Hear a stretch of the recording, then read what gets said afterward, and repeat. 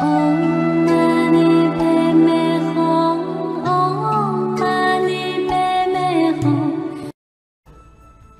Kinh gặp nạn. Lần đầu tiên Hòa Thượng đọc Kinh Địa Tạng, Ngài như bắt được của báo.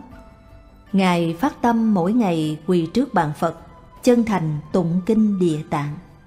Không ngờ lúc Hòa Thượng ở chùa Tam Duyên, Niệm Kinh trước Điện Phật lại gặp nạn sỉ nhục.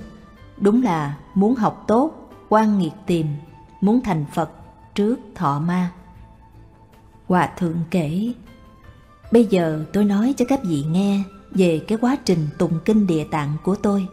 Mùa đông, năm tôi 15 tuổi, là lần đầu tiên thấy kinh địa tạng.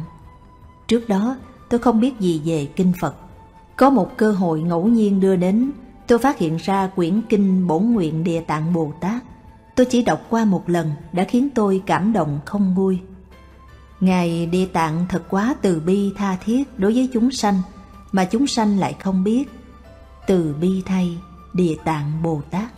Do đó, tôi pháp tâm mỗi ngày quỳ trước bàn Phật, kiền thành tụng một bộ kinh Địa Tạng. Tụng một bộ kinh cũng mất khoảng 2 tiếng đồng hồ. Lúc đó, tôi mặc quần giải, sàn chánh điện thì lót gạch. Tôi chỉ chú tâm tụng niệm kinh, đầu gối bị trầy. Tôi cũng không biết đau, càng tụng càng thấy vui.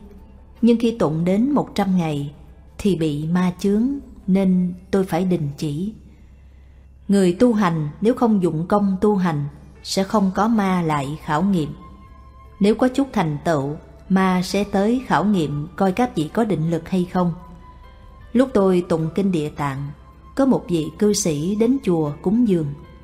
Ông ta thấy tôi quỳ tụng kinh, bèn khen tôi với các người khác rằng thầy đó dụng công như vậy tinh tấn hết sức khi vị cư sĩ đó vừa đi khỏi là các thầy ở trong chùa ráp lại mắng tôi.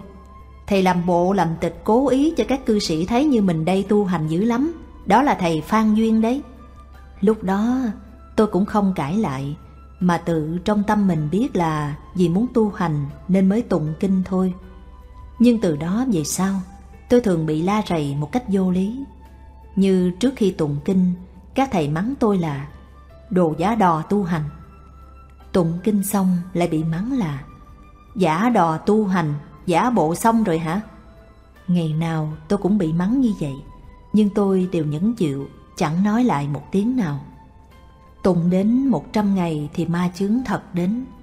Một hôm, ngay giữa lúc tụng kinh địa tạng xong Một vị đại sư huynh chạy đến trước mặt tôi Không nói năng gì Rồi đánh cho tôi một trận và mắng tôi rằng Thứ chú mày trốn ở đây để khỏi làm việc hả? Mọi người ai nấy đều làm việc Còn chú mày ở đây giả giờ tụng kinh để biểu diễn cho người ta thấy à? Chùa này không có chỗ cho chú mày tu đâu. Chú mày có công đức gì mà ở đây tu hành chứ? Thế là tôi đình chỉ không tụng kinh địa tạng nữa. Tu hành không phải là chuyện dễ. Thời thời khắc khắc đều gặp chướng ngại. Tôi sống trong nghịch cảnh ấy vốn không thối chí Mà vẫn tinh tấn như thường lệ. Ngày nay các vị quá ư hạnh phúc gặp được đạo tràng tốt như vậy, vì không bị ai mắng, cũng không bị người đánh, tự tại biết là bao. Tôi hy vọng các vị luôn tinh tấn, chớ biến lười.